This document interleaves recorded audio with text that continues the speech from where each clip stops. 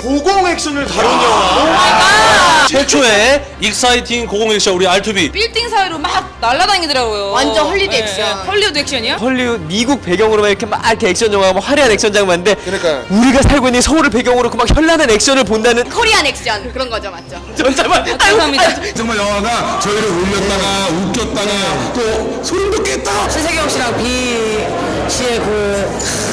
아픈 계속 쏟아지는 장면은 굉장히 배 아프게 봤습니다. 근데 굉장히 잘 된 영화 같고요. 웃음이 있고 재미와 감동을 느끼시고 싶으시다면 R2B 영화 꼭 보시기를 추천합니다. 올해 최고의 여러분의 선택 R2B 이거 놓치시잖아요.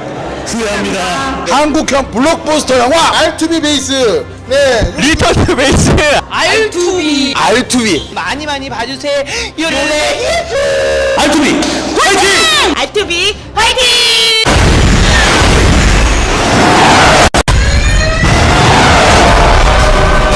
작전명은 Return to Base. 주어진 시간은 7분이다. 사상 초유의 비공식 작전이 시작된다. R2B Return to Base